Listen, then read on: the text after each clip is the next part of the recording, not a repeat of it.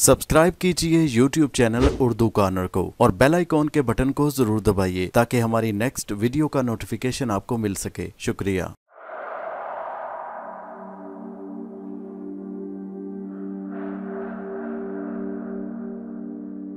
دوسرے دن کوئی گیارہ بجے کا وقت ہوگا کہ سائرہ کا فون آیا۔ اس نے میرا موبائل نمبر لے لیا تھا اور مجھ سے کہا تھا کہ وہ مجھے فون کرے تو مجھے کوئی اعتراض تو نہیں ہوگا۔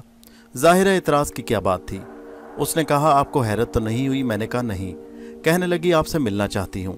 اس گھر میں مجھے اچھی نظروں سے نہیں دیکھا چاہتا اس نے مجھے مطلوبہ جگہ بتائی۔ میں نے ماما سے اجازت لی اور کیسر خان کو لے کر وہاں پہنچ گیا۔ وہ بڑی عجیب شخصیت کی مالک تھی۔ آج اس نے ماڈرن لباس پہنا تھا۔ وہ جب سادگی اپناتی تو بالکل ہی سادہ بن جاتی، اور جب ماڈرن بنتی تو بہت ہی جدید ہو جاتی۔ کیسر خان، تم واپس جاؤ، میں آ جاؤں گا۔ میں نے کیسر خان کو واپس بھیج دیا۔ کہنے لگا صاحب اگر اجازت دیں تو میں مرشد کے پاس حاضری دے ہوں میں نے کہا ٹھیک ہے، تم جاؤ اور میرا سلام دینا۔ وہ چلا گیا۔ پھر سائرہ نے اپنی کار آگے بڑھا دی۔ وہ کافی خوش نظر آ رہی تھی۔ پھر وہ مجھے ایک ریسٹورنٹ میں لے آئی۔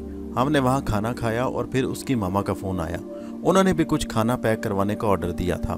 اس نے کہا کہ ماما کھانے پینے کی بہت شوقین ہے پھر اس نے ماما کے لیے کھانے کا آرڈر دیا۔ پھر اس نے بیرے کے ذریعے اپنے ملازم کو بلوایا جو باہر گاڑی کے ساتھ کھڑا تھا۔ تھوڑی دیر بعد ایک درمیانی جسامت کا ایک آدمی اندر آیا اور ادھر ادھر دیکھنے لگا۔ پھر وہ ہماری میز کے پاس آیا۔ سائرہ نے کہا، کھانا پیک ہے، لے جاؤ چاند خان۔ اس نے چاند خان کہا اور میرے کان کھڑے۔ میرے ذہن میں ایک چھناکا سا ہوا۔ چاند خان چاند خان۔ میں نے غور سے اس شخص کو دیکھا۔ وہ متناسب جسامت کا شکل کا تھا۔ سائرہ کے سامنے مودب کھڑا تھا۔ لیکن نہ جانے کیوں مجھے اس کے چہرے پر ایک عجیب سی پرسراریت محسوس ہوئی۔ پیکٹ لے کر وہ واپس مڑ گیا۔ سائرہ کو بالکل اندازہ نہیں ہوا تھا کہ اس شخص کو دیکھ کر مجھے کوئی احساس ہوا ہے۔ وہ نارمل تھی، پھر کھانا آ گیا۔ کھانا کھانے کے بعد اس نے کہا، ماما سے ملو گے؟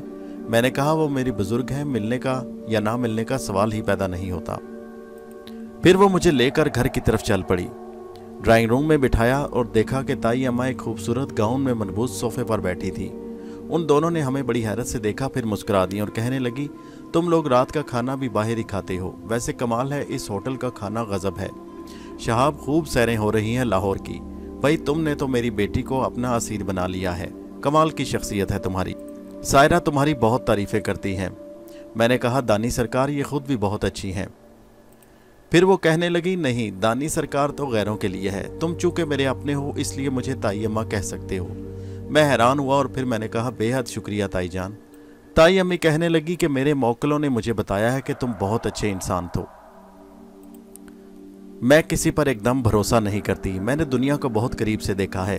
کسی پر مکمل بھروسہ نہیں کیا جا سکتا۔ سرفراز بے شک تمہارے بھائی ہیں، لیکن میں سمجھتی ہوں کہ تمہیں اپنے تمام حقوق پر نظر رکھنی چاہیے۔ پھر کہنے لگیں، شہاب، تم اگر مستقل وہاں پر رہو گے تو میں تم سے نہیں مل سکتی۔ ویسے تمہیں یہاں پاکستان میں مستقل آ جانا چاہیے۔ تم نے اب تک کی زندگی رشتوں کے بغیر گزاری ہے۔ اب ہمارے خون سے تمہاری پہچان ہو گئی ہے تو تمہیں کشش محسوس ضرور ہوگی۔ پھر کہنے لگی، ایک بات کہوں، تمہارا اس جگہ سے نکلنا ضروری ہے، لیکن جلد بازی نہ کرو۔ البتہ ایک پیشکش تمہیں کرنا چاہتی ہوں۔ وہ یہ کہ میں نے اس گھر پر مقدمہ کر رکھا ہے۔ میرا خیال ہے کہ اس کا آدھا حصہ ہمارا ہے۔ تمہارا بھی اس میں تھوڑا بہت حق بنتا ہے۔ تم اگر وہاں رہنا چاہتے ہو تو میں وہ مقدمہ واپس لے سکتی ہوں اور وہ حصہ تمہارے لیے چھوڑ دیتی ہوں۔ تم اسے آرام سے اپنی پسند کے مطابق بنواؤ اور وہاں رہو۔ لیکن اگر اسے چھوڑنا چاہتے ہو تو جب دل تمہارا چاہے مجھے بتا دینا۔ میں خود بھی تمہارے لیے کوئی بندوبست کر سکتی ہوں۔ اس کے علاوہ جیسے میرے موکلوں نے مجھے بتایا کہ خود تمہاری اتنی جائیداد اور کوٹھیاں وغیرہ موجود ہیں، تم ان میں سے کسی کا انتخاب کر لو، تو تمہیں رہائش کی مشکل نہیں ہوگی۔ میں نے کہا، جب بھائی جان بحرین سے واپس آئیں گے تو آپ سے ملاقات کریں گے۔ پھر آپ ان سے اس موضوع پر بات کر لیجیے۔ میں نے فوری طور پر جان چھڑانے کی کوشش کی۔ پھر انہوں نے ڈرائیور سے کہا کہ مجھے واپس چھوڑائے میں واپسی پر دونوں شاطر ماں بیٹی کے الفاظ کے بارے میں سوچ رہا تھا۔ پھر میری تایا ابا سے ملاقات ہوئی۔ انہیں میں نے بتایا، تایا ابو، میں نے اس شخص کو دیکھا ہے جس کا نام چاند خان ہے۔ وہ کہنے لگے، وہ کون ہے؟ میں نے انہیں بتایا کہ شاید وہ تائی امی کے ہاں کام کرتا ہے۔ میری بات سن کر وہ حیران رہ گئے۔ ان کے ذہن میں کھلبلی سی مچ گئی۔ کہنے لگے، اس آدمی کا حلیہ کیسا تھا؟ میں نے کہا، تایا ابو، وہ شاطر سا معلوم ہو رہا تھا۔ تایا ابو کے چہرے پر عجیب سے تاثرات تھے۔ شاید وہ بھی میری طرح یہی سوچ رہے تھے کہ کہیں میرے والد امتیاز احمد کی موت میں کہیں طاہرہ خانم کا ہاتھ تو نہیں۔ پھر وہ کہنے لگے، دیکھو، میں کسی کے خلاف زہر نہیں اگلنا چاہتا، لیکن میں تمہیں پہلے بتا چکا ہوں کہ طاہرہ خانم بہت آگے کی چیز ہے۔ وہ اپنی مطلب برادری کے لیے دنیا کا ہر کام کر سکتی ہے۔ چاند خان کے مسئلے کو ایسے نہیں چھوڑا جا سکتا۔ ان کی اور کیا باتیں ہوئیں؟ بس یہ میری ان سے پہلی ملاقات تھی، پہلی ملاقات میں وہ ذرا سخت تھیں، مغرور سی، لیکن ان کی دوسری ملاقات کچھ بہتر تھی۔ آج انہوں نے کہا کہ تم مجھے دانی سرکار کے بجائے تائی اماں کہہ لیا کرو۔ تایا ابا کہنے لگے، شاید انہوں نے تمہارے بارے میں معلومات حاصل کر لی ہیں کہ تم بہت بڑی اسامی ہو، بہت جائیداد اور روپے پیسے والے ہو۔ پھر میں نے انہیں مکان کے بارے میں بھی بتایا کہ وہ میری خاطر مقدمہ واپس لینے پر تیار ہیں۔ کہنے لگے کیسی نامعقول عورت ہے۔ پھر تایا ابا کہنے لگے، ایسا کرتے ہیں کہ چاند خان کے بارے میں نادر خان کو معلومات دیتے ہیں۔ وہ اس بارے میں معلومات حاصل کرے گا۔ پھر تایا ابو نے Nadir Khan S H O کو فون کیا تو وہ ہمارے گھر آ گیا۔ نادر خان کو چائے وغیرہ پلوائی گئی۔ پھر نادر خان نے کہا، کہیے کیسے معاملات چل رہے ہیں؟ کوئی پریشانی تو نہیں؟ سب کچھ ٹھیک ہے نا؟ شہاب میاں نے ایک انکشاف کیا ہے۔ تایا ابو کہنے لگے، کیا نادر خان متوجہ ہوا؟ تائی اماں کے بارے میں تھوڑی بہت تفصیل ہے۔ مزید تفصیل بتا دی گئی، جسے سن کر وہ سوچ میں ڈوب گیا۔ چاند خان کے بارے میں پتہ تو نہیں چلا ہے، ابھی تک ویسے وہ شخص میرے خیال میں کافی انکشافات کر سکتا ہے۔ آپ لوگ ایک تکلیف کریں، بلکہ شہاب صاحب اگر چاہیں تو میرے ساتھ چلیں۔ تھوڑی سی قانونی کارروائی کرنی ہے۔ آپ سے بھی مشورے لیتا ہوں۔ ممتاز صاحب ایک ایف آئی آر لکھوائی جانی چاہیے پچھلی تاریخوں میں۔ یعنی جب سے شہاب صاحب یہاں آئے ہیں اور ان پر اپنے والد کی موت کا انکشاف ہوا ہے، اس ایف آئی آر میں چاند خان کا انکشاف بھی کر دیا جائے۔ ہم چاند خان کو کہیں راستے سے گرفتار کر لیں گے۔ بیک ڈیٹ میں ایف آئی آر درج ہونے سے بات بن جائے گی۔ طاہرہ خانم کو شہاب صاحب پر شک نہیں پڑے گا۔ قانونی باتیں آپ جانتے ہیں، ایس ایچ او صاحب، آپ جیسا مناسب سمجھیں۔ پھر میں ایک اور کام کرتا ہوں، ایک ایف آئی آر لکھوا کر دستخط وغیرہ کے لیے یہاں بھیج دیتا ہوں۔ تایا ابو مطمئن ہو گئے۔ میں تایا ابو کے پاس بیٹھ اس دن دانیہ کو بخار ہو گیا۔ بہت تیز ایک سو دو کا بخار تھا۔ ماما مجھے کہنے لگی شہاب، ایسا نہ کریں کہ یہ گھر چھوڑ دیں۔ کہنے لگی کہ دانیہ یہاں بہت خوفزدہ ہے۔ کہتی ہے، تمہاری ماحول تھوڑا سا بھی تاریخ ہوتا ہے۔ تو اسے اچانک قدموں کی آٹھ سنائی دیتی ہے۔ پھر ایک خوفناک عورت دکھائی دیتی ہے۔ جو کہتی ہے کہ وہ دانیہ کی آنکھیں نکال دے گی۔ وہ دانیہ کو خونی نگاہوں سے گھورتی ہے۔ اور دھمکیاں دیتی ہے۔ میں نے کہا، کیسی دھمکیاں؟ وہ کہتی ہے کہ، دنیا دیکھ لے لڑکی، میں جلد تیری آنکھیں نکال دوں گی۔ میں ایک دم چونک پڑا۔ کہیں وہ گورنی تو نہیں؟ اچھا ماما، اس بارے میں سوچتے ہیں، ذرا بھائی جان کو واپس آ لینے دیں۔ چونکہ گورنی نے مجھے دھمکی دی تھی، اس لیے اب وہ میرے خاندان کو بھی نقصان پہنچانے پر اتر آئی تھی۔ مجھے اپنی فکر نہیں تھی۔ میں اس پر حملہ کر سکتا تھا۔ میں نے اسے زخمی بھی کیا تھا۔ مگر اب میرے گھر والوں اب تو پانی سر سے اونچا ہوتا جا رہا تھا۔ اگر دانیہ کو نقصان پہنچا تو میں اس گھر کو آگ لگا دوں گا۔ تایا ابو سے کہوں گا کہ تایا ابو، اس کے بدلے آپ مجھ سے جتنی دولت، مالیت کا کوئی گھر لے لیں، میں اس گھر کی زمین کی گہرائیاں تک کھدوا دوں گا۔ میں یہاں رہ کر وہ کروں گا کہ یہاں کے پرسرار مکین بھی یاد رکھیں گے۔ شام کا اندھیرا پھیل گیا، میں نے ایک ٹارچ لی۔ ٹارچ لے کر چل پڑا اور پھر میں نے لکڑی کے ایسی ڈنڈی اٹھا لی جسے میں اپنے تحفظ کے طور پر استعمال کر سکتا تھا۔ میں گھر کے اسی پرسرار حصے کی جانب چل پڑا، جو مصیبتوں کا مرکز بنا تھا۔ میں ٹارچ اٹھائے، روشن کر کے اسے پرسرار کھنڈم نما عمارت میں داخل ہو گیا۔ یہ جگہ ہمیشہ صاف ستھری رہتی تھی، مگر اس پر ویرانی چھائی رہتی۔ میں نے دیوار میں اس کنڈے کو تلاش کیا، جسے کھول کر وہ پرسرار قوتیں اندر داخل ہوتی تھی اور پھر ٹارچ کی روشنی نے اس کنڈے کو نمایاں کر دیا۔ میں نے اسے پکڑ کر کھینچا اور تہخانے کا دروازہ کھل گیا۔ اور پھر میں ٹارچ اٹھائے، اندر حال میں داخل ہو گیا۔ حال میں مکمل ویرانی تھی اور خاموشی تھی، بھیانک ماحول تھا، مگر یہاں گورنی موجود نہیں تھی اور نہ ہی کسی اور کا نام و نشان تھا۔ میں حال کے وسط میں کھڑا ہو گیا اور میں نے غراتی ہوئی آواز میں کہا، گورنی، میں یہاں اکیلا آیا ہوں۔ ذرا میرے سامنے آ، تو نے میرے بہن کو دھمکیاں دی تو بھلا ہمارا کیا بگاڑ سکتی ہے؟ گورنی، آ، میں تیرا انتظار کر رہا ہوں۔ ذرا میرے سامنے آ۔ میں نے اس طرف روشنی ڈالی جدھر سے اس دن گورنی نمودار ہوئی تھی، لیکن اس وقت یہاں کوئی دروازہ نہیں تھا۔ گورنی مجھ سے معافی مانگ لے، میں تجھے معاف کر دوں گا، ورنہ میرے سامنے آ کر مجھ سے بات کر۔ اچانک ہی اس جگہ ہلکی آہٹیں نمودار ہوئیں اور پھر ایک دروازہ نمایاں ہوا۔ دروازے سے مدم مدم سفید روشنیاں جھلکنے لگیں، اور اس کے بعد سیاہ لبادے میں ایک شخص نظر آیا۔ وہ ایک ٹرالی نما چیز کو دھکیلتا لا رہا تھا۔ میں نے روشنی میں دیکھا، یہ ایک تابوت تھا، اور اسے ایک پرسرار وجود دھکیلتا ہوا آگے لا رہا تھا۔ تابوت میں سفید کپڑے سے ڈھکی لاش تھی، جس پر انتہائی مدم نیلی روشنی تھی۔ تابوت آگے بڑھایا۔ سیاہ پوش نے اسے ایک جگہ کھڑا کیا اور پھر واپس مڑ کر اسی دروازے سے اندر داخل ہو گیا۔ میں نے ٹارچ کی روشنی اس طرف کی۔ اچانک ہی ہوا کا ایک جھونکا آیا اور تابوت میں لپٹی ہوئی لاش کے چہرے سے کپڑا ہٹ گیا۔ میں نے دیکھا یہ سیفونا کی لاش تھی۔ یہ لڑکی انتہائی خوبصورت شکل و صورت کی مالک تھی۔ لیکن جن حالات میں اس کی موت ہوئی تھی، اس میں میرا ذرا برابر بھی قصور نہیں تھا۔ اگر مجھے یہ پتا چلتا کہ یہ کوئی پرسرار وجود ہے، تو میں اس پر حملہ نہ کرتا۔ میں اسے ایک خونخار بلی ہی سمجھا تھا۔ کچھ لمحوں تک میں سیفونا کی لاش کو دیکھتا رہا، پھر میں نے کہا، جو کچھ ہوا وہ غلط فہمی کی بنیاد پر ہوا۔ تم لوگوں نے بلا وجہ مجھ سے دشمنی رکھی ہے۔ میں بے قصور ہوں۔ تمہیں بتائے دیتا ہوں کہ میں تم سے خوفزدہ نہیں، ہر طرح کے حالات کا مقابلہ کروں گا۔ اور ایک بات ذہن میں رکھنا کہ میرے خاندان میں کسی کو نقصان نہیں پہنچنا چاہیے۔ مگر نہ میں اس پورے گھر کو کھدوا کر پھینکوا دوں گا۔ یہاں صرف ایک گڑا رہنے دوں گا جس پر کوئی چیز تعمیر نہیں ہو سکے گی۔ پھر میں دیکھتا ہوں تم یہاں کیسے بسیرا کرتے ہو۔ یہ کہہ کر میں پلٹا، لیکن میں ایک دم چونک پڑا۔ سامنے ایک کونے میں مجھے دو تین سفید روشنیاں نظر آئیں۔ چھوٹے چھوٹے بلب جل رہے تھے، لیکن دوسرے لمحے مجھے اندازہ ہوا کہ یہ بلب نہیں بلکہ آنکھیں تھیں۔ سفید روشن آنکھیں، جن کی پتلیاں صرف سفیدی کی شکل میں نظر آ رہی تھی ان کے ساتھ ہی ہلکی غراہٹیں اور میرے چہ، حلق سے بھیانک چیخ نکلی۔ میں لکڑی لے کر ان کی طرف جھپٹا، وہ بلیاں تھیں، کالی بھجنگ بلیاں، موٹی تازی۔ میں ان پر جھپٹا۔ وہ الگ سے خوفناک آوازیں نکالتی ادھر ادھر بھاگنے لگیں۔ میں بھی ان کے پیچھے بھاگ رہا تھا۔ کچھ دیر وہ جگہ تبدیل کرتی رہیں، پھر ایک راستے سے باہر بھاگ گئیں، جدھر سے میں آیا تھا۔ میں نے لکڑی کو ہاتھ سے نہیں چھوڑا۔ میں نے وحشیانہ انداز میں چیخ کر کہا، اور کوئی ہے؟ میں پھر تابوت کی جانب پلٹا، مگر وہاں سے تابوت غائب تھا۔ میں آگے بڑھا، اس جگہ پہنچا، جہاں دیوار میں دروازہ نمایاں ہوا تھا، لیکن اب وہاں کوئی دروازہ نہیں تھا۔ دیوار بالکل سپاٹ تھی۔ میں تنزیہ ہنسی کے ساتھ پلٹا۔ تم لوگ خوب سمجھ چکے ہو کہ تم مجھے کوئی نقصان نہیں پہنچا سکتے۔ گورنی کو بتا دینا کہ میری بہن کو کوئی نقصان نہ پہنچے، ورنہ انجام تم لوگ جانتے ہو۔ یہ کہہ کر میں واپسی کے لیے پلٹا، لکڑی کو میں مضبوطی سے ہاتھ میں پکڑے ہوئے تھا۔ تاکہ پیچھے سے مجھ پر حملہ ہو تو میں اس پر مقابلہ کر سکوں۔ لیکن کچھ نہیں ہوا اور میں اس عمارت سے نکل آیا۔ پھر میں اپنے کمرے میں آ گیا۔ تایا ابو کے علم میں یہ بات لانا ضروری تھا۔ دانا کی حالت قدرے بہتر تھی۔ اگلے دن میں کھانے کے بعد تایا ابو کے ساتھ باہر نکل آیا اور ان کے کمرے پہنچ گیا۔ تایا ابو میں آپ سے کچھ بات کرنا چاہتا ہوں۔ کہنے لگے، کوئی خاص بات ہے؟ اصل میں تایا ابو وہ کچھ، ابھی میں نے اتنے جملے کہے تھے کہ اچانک لائٹ چلی گئی اور گپ اندھیرا پھیل گیا۔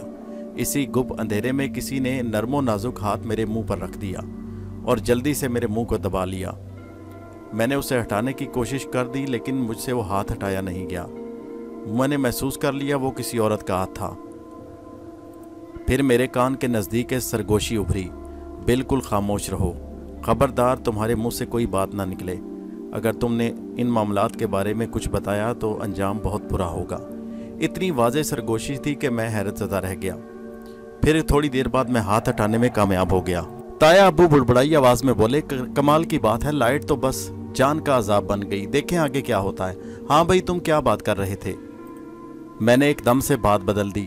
تایا ابو جائیداد وغیرہ کی مختصر تفصیل آپ کے علم میں آ چکی ہے۔ سرفراز بھائی واپس آئیں تو اس پر کام کرتے ہیں۔ میں نے انہیں بھی تجویز پیش کی تھی کہ ہمیں اس کی دیکھ بھال کے لیے ایک چھوٹا سا سٹاف رکھنا ہوگا۔ بہت ضروری بھائی میرے ذہن میں بھی یہ بات آئی تھی۔ تایا ابو نے کہا، مجھے تھوڑا اطمینان ہو گیا کہ انہوں نے میری بدلی ہوئی بات کو محسوس نہیں کیا۔ دن کو گیارہ بجے نادر خان کا محرر آیا اور اس نے مجھے ایف آئی آر دکھائی، جس میں نادر خان نے اپنے طور پر تحریر لکھوائی تھی۔ میں نے اسے پڑھنے کے بعد اس پر دستخط کی اور وہ چلا گیا۔ دن گزرتے رہے۔ اگلے دن نادر خان کا فون آیا اور اس نے ہمیں تھانے میں طلب کیا۔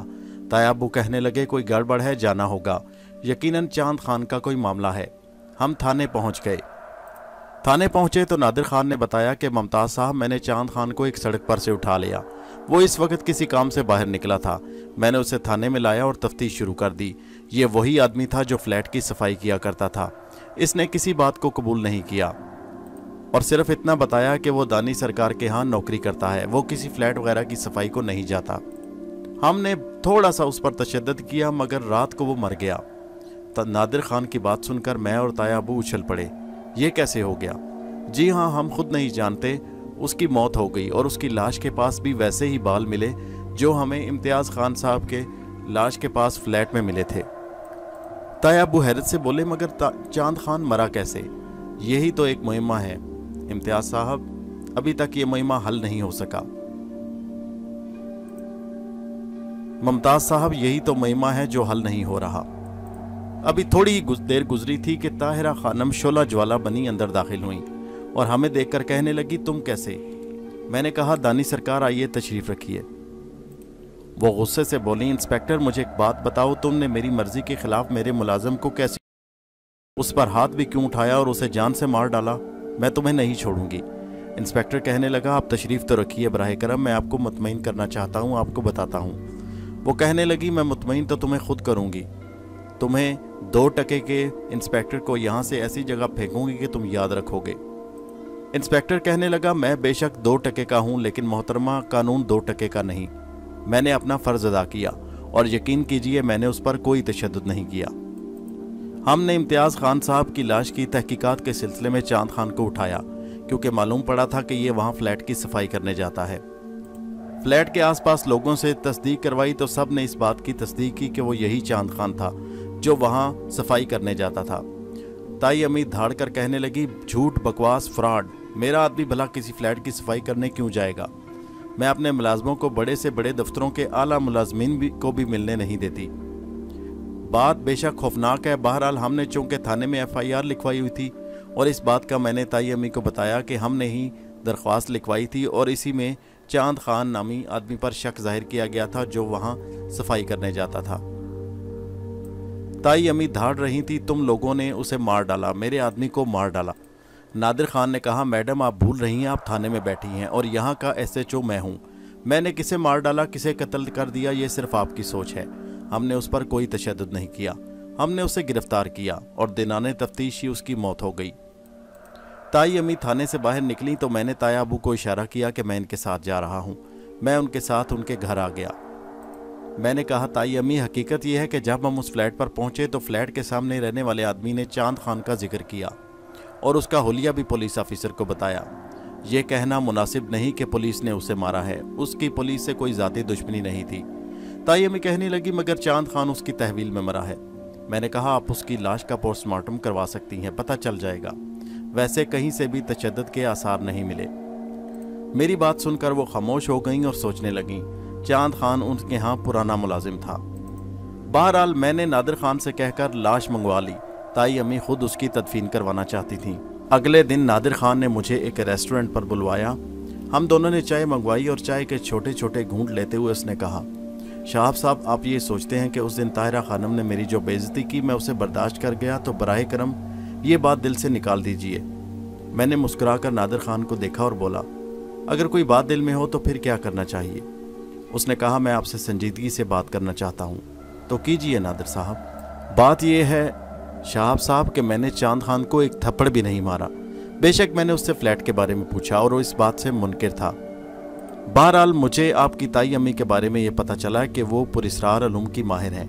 بڑے بڑے لوگ ان سے مشکلات حل کروانے آتے ہیں، جس کی وجہ سے ان کے تعلقات کا دائرہ وسیع ہے۔ آپ کے تایا سے بھی ان کا جائیداد کا تنازع چل رہا ہے اور آپ کے والد صاحب سے بھی ان کا تنازع تھا۔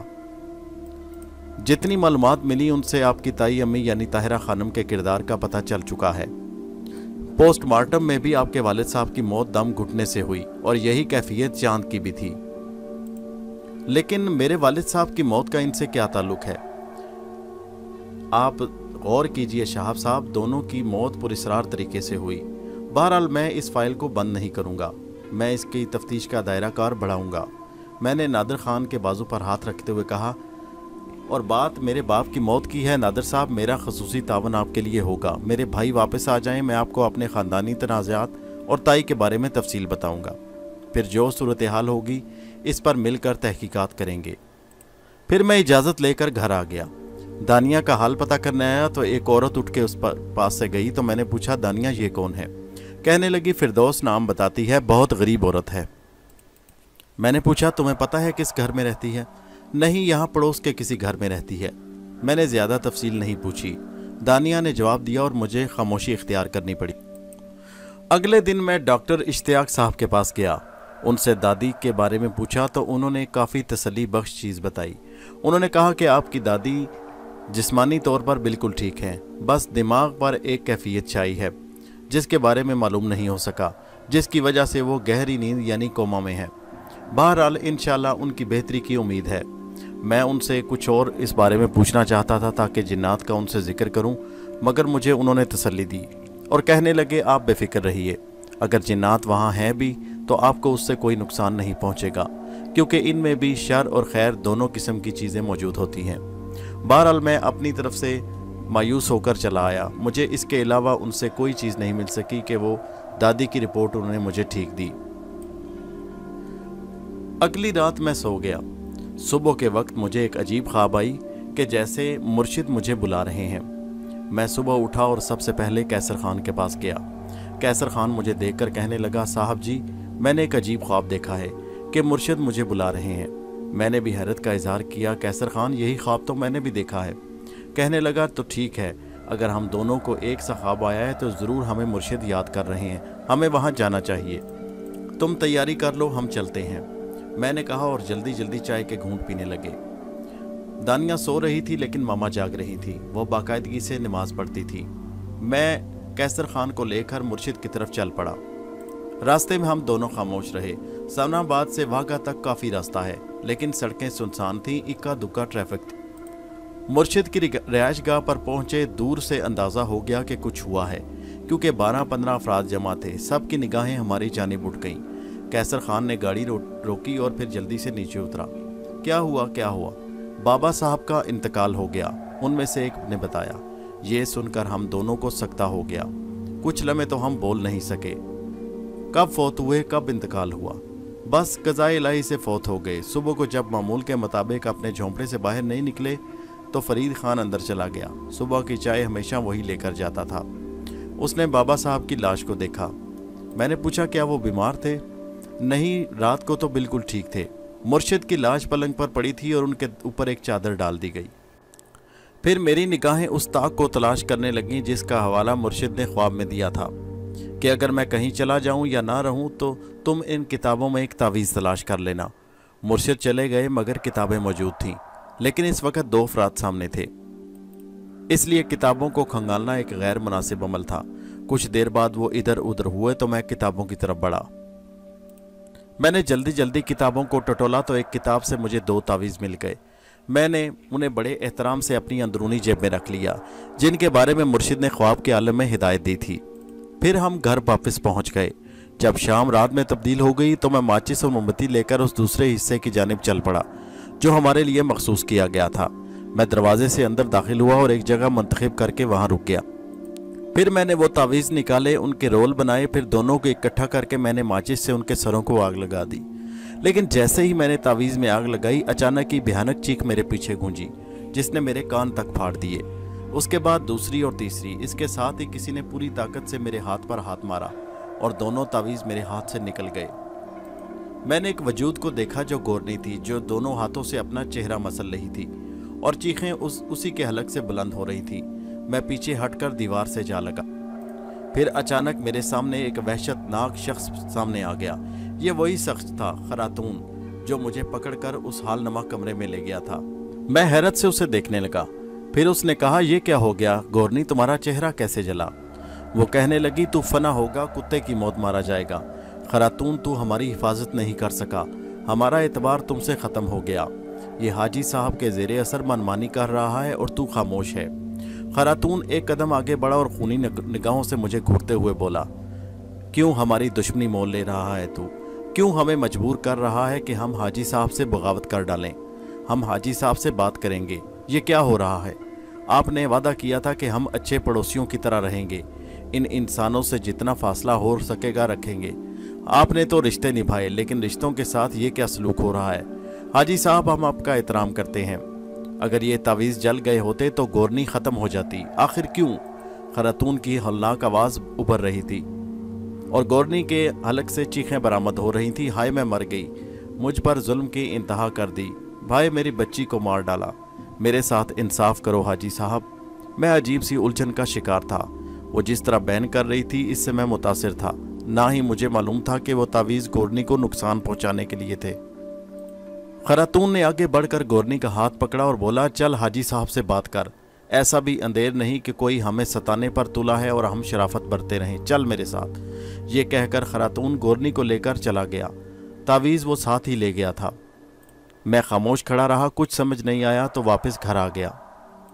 مجھے نہیں معلوم تھا کہ مرشد نے یہ ہدایت تعویز کے ساتھ کیوں لکھی تھی کہ انہیں جلانا ہے۔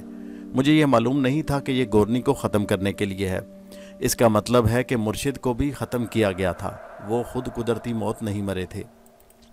اگلے دن فراز بھائی واپس آ گئے۔ مقررہ وقت پر واپس پہنچ گئے۔ ان کی صحت بہت اچھی تھی۔ بہت اچھے نظر آ رہے تھے۔ ہم سب گلے ملے اور سرفراز بھائی کو لے کر گھر واپس آ گئے۔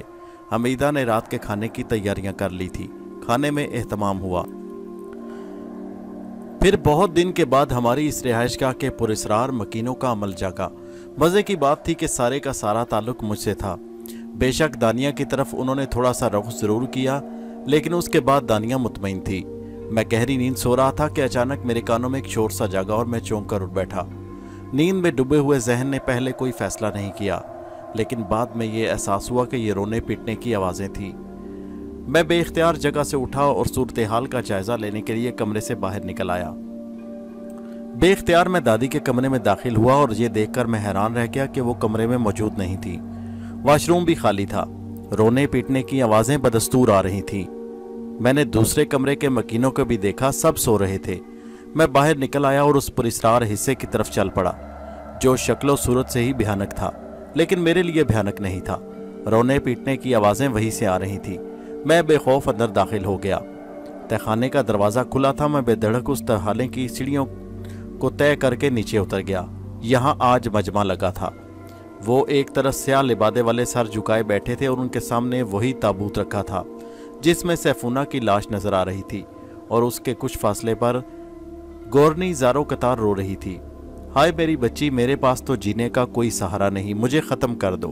میں کس دل سے اپنی بچی کی موت برداشت کروں؟ تم نے جو مجھ پر ستم توڑے ہیں، مجھے ختم کر دو، آزاد کر دو مجھے ان سے۔ جب تک میں اس کا خون نہیں پی جاؤں گی، اسے نہیں چھوڑوں گی۔ اس کے پاس ایک حل ہے کہ مجھ سے شادی کر لے۔ اس کمبخت کو بتا دو کہ میں اس پر عاشق نہیں ہوں۔ میں تو بس وہ رسم پوری کرنا چاہتی ہوں جس سے میری سیفونہ مجھے اپنا بدن دے دے اور میں اسے زندہ سلامت دیکھوں۔ میں اپنے آپ کو دھوکہ دے لوں گی۔ میرے پاس اور کوئی ترکیب کھو کہ سیفونہ کو زندگی مل جائے تو میں ہر بات ماننے کو تیار ہوں۔ پھر وہ میری طرف روح کر کے موڑی اور بولی، تو یہاں کیوں آ گیا؟ کتنی بار تجھے بنا کیا کہ یہاں نہ آیا کر؟ کیوں ہمارے زخموں پر نمک چھڑکنے آتا ہے؟ ہم کب تک حاجی صاحب سے کیا ہوا کول نبھائیں گے؟ آخر ہم ایک دن مجبور ہو جائیں گے۔ حاجی صاحب، آپ کہیں پاس ہیں تو اسے سمجھائیں کہ یہاں قدم نہ رکھے۔ ہم کب تک گورنی کو روک سکیں گے؟ یہ تو مرنے کو تیار ہے۔ یہ آواز خراتون کی تھی جسے میں نے اب دیکھا۔ جاؤ، چلے جاؤ یہاں سے۔ میرے پاس کہنے کے لیے کچھ نہیں تھا۔ یہ واقعی ان کا ذاتی معاملہ تھا۔ مجھے یہاں نہیں آنا چاہیے تھا۔ دیکھو، میں تمہیں بتائے دیتا ہوں، میں نے ایسا جان بوجھ کر نہیں کیا۔ یہ لڑکی میرے ہاتھوں ہلاک ہوئی، لیکن یہ محض اتفاقیہ تھا۔ اگر تم نے میرے خاندان کو نقصان پہنچایا، تو یہ جگہ کھدوا کر تم سب کو یہاں آگ لگا دوں گا۔ جا، چلا جا یہاں سے۔ غصے کو آواز نہ دے ہمارے۔ کاش حاجی صاحب تیری پشت پناہ ہی نہ کرتے۔ ساتھ ہی مجھے یوں لگا جیسے کسی نے میرے کندھے پر ہاتھ رکھ کے مجھے باہر جانے کے لیے دھکیلا ہو۔ پر اسرار قوتوں کے خلاف میں کوئی روحانی عمل کر سکتا، میں اتنا علم فاضل نہیں تھا۔ میں سیڑھیاں چڑھ کر اوپر آ گیا۔ ایک لمحے کے لیے میں ٹھٹکا، لیکن پھر اچانک ہی ان لمبے اور خوبصورت بالوں کو پہچان لیا، جو دادی اماں کے سوا کسی کے نہیں تھے۔ میں ایک دم ان کی طرف مڑا اور میرے منہ سے نکلا، دادی اماں لیکن اس آواز کے ساتھ ہی سفید سائے کی آواز کی رفتار تیز ہو گئی۔ میں ان کا پیچھا کرتا ہوا راہداری میں داخل ہو گیا۔ میں نے صاف محسوس کیا کہ دادی اماں کے کمرے کا دروازہ کھلا ہے۔ اور وہ سفید سایہ اسی دروازے میں داخل ہو گیا۔ میں نے رفتار تیز کر دی۔ میں نے کہا، دادی، اماں، آج آپ کو رنگے ہاتھوں پکڑوں گا۔ آج بھی آپ مجھ سے انعراف کریں گی تو وہ غلط ہوگا۔ میں غڑاب سے دروازے سے اندر داخل ہوا تو میں نے بستر پر دادی، اماں کو اسی حالت میں دیکھا۔ اس وقت بھی ان کے ہاتھ دو ڈرپیں لگی ہوئی تھیں۔ پچھلے دن ہی غالباً ڈاکٹر اشتیاق آئے تھے اور انہوں نے ان ڈرپس کی ہدایت کی تھی۔ میں تھوڑی دیر پہلے جب یہاں آیا تو یہ ڈرپس یہاں لٹک رہی تھی۔ لیکن ان کے پائے بند تھے۔ اس وقت نیڈل اماں کے جسم میں لگی تھی اور ڈرپس میں سے ڈراپس گر رہے تھے۔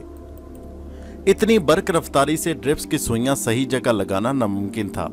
اس کے علاوہ دادی اماں کا وہ لباس بھی نہیں تھا جو چند لمحے قبل میں نے دیکھا تھا۔ میں چکرا کر رہ گیا۔ میں دادی اماں کے پاس آ گیا اور ان کی مسحری پر ان کے پیروں میں بیٹھ گیا۔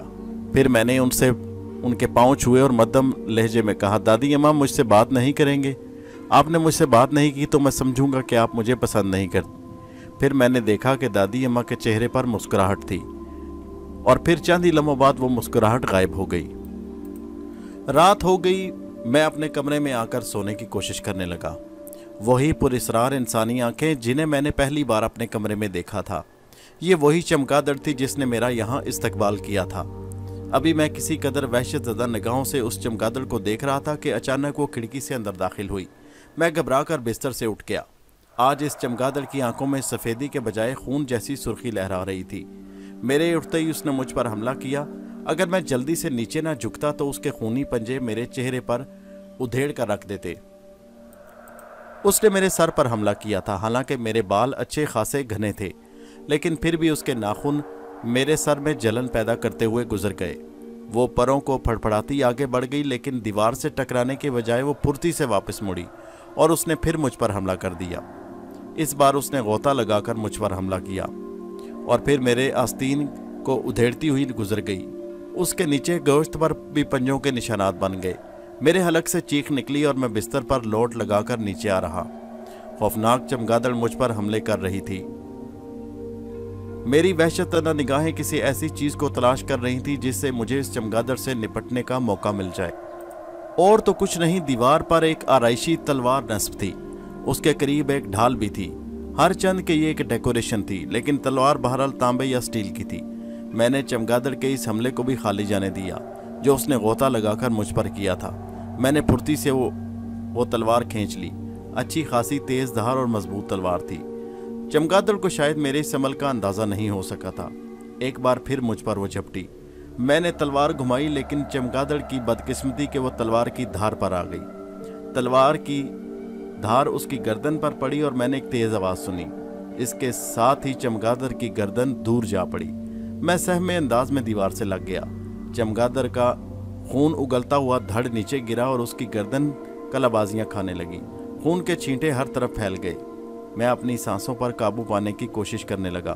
اچانک ہی میں نے ایک اور منظر دیکھا، چمگادڑ کا بدن پھیلتا جا رہا تھا۔ اس کے ہاتھوں پیروں میں تشنج سا ہو رہا تھا اور پیروں کی لمبائی بڑھتی جا رہی تھی۔ میں اس منظر کو دیکھ رہا تھا اور آواز گم ہو رہے تھے چمگادڑ کا بدن پہلے بلی کے برابر ہوا، پھر اس سے بھی بڑا اور بڑھتا چلا گیا۔ یہ سب بہت خوفناک تھا۔ اب میرے سامنے ایک مکرو چہرہ اور اسے پہچاننے میں مجھے کوئی دقت نہیں ہوئی۔ یہ گورنی تھی۔ گورنی اپنی اصل شکل اختیار کر چکی تھی۔ اس کا دھڑ اس کی گردن سے کوئی چار فٹ کے فاصلے پر پڑا تھا اور اب وہ مکمل بدن اختیار کر گیا۔ پھر اچانک میں نے اسے اٹھتے دیکھا۔ مجھے پہلی بار احساس ہوا کہ میں بہت مضبوط احساب کا مالک ہوں اور کوئی بھی چیز مجھے ہوش و آواز سے آری نہیں کر دیتی، ورنہ یہ بھیانک منظر تو دل کی حرکت بند کر دینے کے لیے کافی تھا۔ گورنی اٹھ کر بیٹھ گئی اور ہاتھوں سے کچھ ٹٹولنے لگی، جیسے وہ کچھ چیز تلاش کر رہی ہو۔ گردن تو اس کے شانوں پر تھی، پھر وہ آہستہ آہستہ کھسکنے لگی۔ گورنی کو شاید اندازہ تھا کہ اس کی کھوپڑی کہاں پڑی ہے۔ وہ آگے بڑی اس نے کھوپڑی اٹھائی اور اسے کندھوں پر این اس جگہ رکھ لیا جہاں سے وہ کٹی تھی۔ ایسا کرنے کے بعد وہ کچھ دیر بیٹھی، جھومتی رہی، پھر دوبارہ زمین پر دراز ہو گئی۔ میری وحشت عروج پر تھی۔ میں پاگلوں کی طرح آنکھیں اور منہ کھولے گورنی کو دیکھ رہا تھا اور سوچ رہا تھا کہ اس کے بدن کی نئی جنبش کیا ہوتی ہے۔ کوئی دو یا تین منٹ تک اس پر نگاہیں جمائے رہا، لیکن اس کے جسم میں حرکت نہیں ہوئی۔ مجھے یوں محسوس ہوا جیسے اس کے بدن میں سانسوں کی آمد نہیں۔ گورنی کا تعلق ایک پرسرار مخلوق سے تھا۔ یہ کیا عمل کرتی ہے مجھے کچھ معلوم نہیں، میں کھڑا دیکھتا رہا۔ مجھے نہیں معلوم تھا وہ یہ زندہ تھا یا مر چکی۔ میں ہمت کر کے آگے بڑھا اور گھٹنوں کے بل اس کے نزدیک بیٹھ گیا۔ ڈرتے ڈرتے میں نے اس کے بدن کو چھونے کی کوشش کی تو مجھے لگا جیسے میرا ہاتھ برف کی کسی سل سے ٹکرا گیا ہے۔ جسم ٹھنڈے ضرور ہو جاتے ہیں، لیکن اتنے ٹھنڈے جتنا گورنی کا جسم تھا اس میں زندگی کی کوئی رمک باقی نہیں تھی۔ یہ سب کچھ بور حیرت انگیز تھا۔ گورنی میرے ہاتھوں ماری جا چکی تھی۔ اس بات کا مجھے یقین ہو گیا۔ پھر یکدم میرے بدن میں جھرجری تیز ہو گئی۔ اگر صبح کو میرے کمرے سے کوئی لاش برآمد ہوئی تو کون گزرے ہوئے واقعات پر یقین کرے؟ میں سوچنے لگا، مجھے کیا کرنا چاہیے؟ میں نے سب سے پہلے اس تلوار کو صاف کیا جس پر خون لگا تھا۔ اسے اس جگہ رکھ کر میں نے دستے سے اپنے ہاتھوں کے نکوش مٹائے۔ پھر گورنی کی لاش کی طرف دیکھا، کار کی چابی میرے پاس تھی۔ میرے ذہن میں خیال آیا کیوں نہ گورنی کی لاش کو میں آس پاس کہیں ٹھکانے لگا دوں۔ یہی مناسب وقت تھا ورنہ صبح کو مشکل ہو جاتی۔ میں نے اس کی لاش کو اٹھایا اور حیرت انگیز انکشاف مجھ پر ہوا۔ گورنی بظاہر کافی بھاری بھرکم بدن کی مالک تھی، لیکن اس کا جزم بے وزن اتنا ہلکا کہ اسے اٹھانے میں مجھے کوئی دقت نہیں ہوئی۔ میں آہستہ آہستہ سنبھل کر زینے طے کرتا نیچے آیا۔ کیسر خوان خواب خرگوش کے مزے لے رہا تھا۔ وہ اپنے کمرے تھا۔ مجھے کار کی ڈگی کھول کر اس کو لاش میں رکھنے میں کوئی دقت نہیں ہوئی اور اس کے بعد میں نے گاڑی سٹارٹ کی اور وہاں سے آگے بڑھ گیا۔ راستوں کا مجھے پتا تھا۔ پھر مجھے ایک ایسی جگہ نظر آ گئی جہاں میں اس لاش کو ٹھکانے لگا سکتا۔ یہ بڑے بڑے گہرے گڑے تھے۔ میں نے موقع غنیمت دے کر ڈگی کھولی اور گورنی کی لاش کو کندھوں پر اٹھا کر وہاں سے آگے بڑھا۔ سڑک سے تھوڑا دور جانے کے بعد ایک کڑا نظر آیا جہاں گورنی کی لاش کو پھینکا جا سکتا تھا۔ میں نے اسے اپنے کندھے سے اتار کر نیچے گھڑے میں دکیل دیا۔ کچھ لمحے کھڑا دیکھتا رہا اور پھر واپس مڑا۔ میں بری طرح کانپ رہا تھا۔ بہرحال اس کے عالم کے باوجود میں نے گاڑی سٹارٹ کی اور اسے واپس موڑ کر واپسی کے لیے چل پڑا۔ میرے ذہن میں کیا خیالات تھے مجھے کچھ معلوم نہیں۔ ابھی واپس پلٹے مجھے پانچ منٹ ہی گزرے تھے کہ اچانک پیچھے سے ہلکی ہلکی کراہیں سنائی دی میرے ہاتھ بے اختیار سٹیرنگ پر ڈگمگ آ گئے۔ میں نے پیچھے والے شیشے پر نظر ڈالی تو اس کے بعد مجھے حیرت کا شدید جھٹکا لگا۔ میرے پاؤں بریک پر جا پڑے اور گاڑی ایک چرچراہٹ کے ساتھ رک گئی۔ جو منظر میں نے دیکھا وہ میرے دل کی حرکت بند کر دینے کے لیے کافی تھا۔ وہ گورنے ہی تھی، لیکن اس وقت وہ گردن سے بے نیاز اور اس کی کٹی ہوئی گردن گود میں رکھی ہوئی تھی۔ گاڑی رکی تو اس نے دونوں ہاتھ بڑھا کر اپنی گردن اٹھائی اور اسے واپس اپنے شانوں پر رکھ لیا۔ پھر اس نے بڑے اطمینان سے دروازے کا ہینڈل کھولا اور نیچے اتر گئی۔ میں خاموش بیٹھا، اسے جاتا ہوا دیکھتا رہا۔ اس وقت جیسے میرا سارا وجود موت کی آغوش میں چلا گیا، میں سو گیا۔ میرے اندر کوئی احساس باقی نہیں تھا۔ نہ جانے کتنی دیر یہ کیفیت تاری رہی۔ دوستو، یہ کہانی جاری ہے۔ اس کا نیکسٹ حصہ اگلی ویڈیو میں ملاحظہ کیجیے اور ہمارے چینل اردو کارنر کو سبسکرائب کیجیے۔ شکریہ۔